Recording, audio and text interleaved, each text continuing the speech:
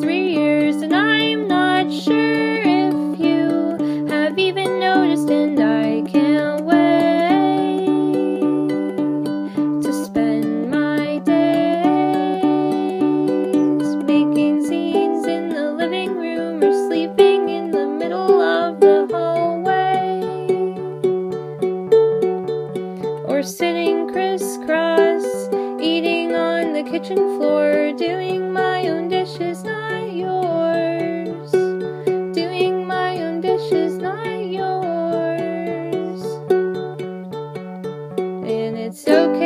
broken and it's fine that you don't know me or my friend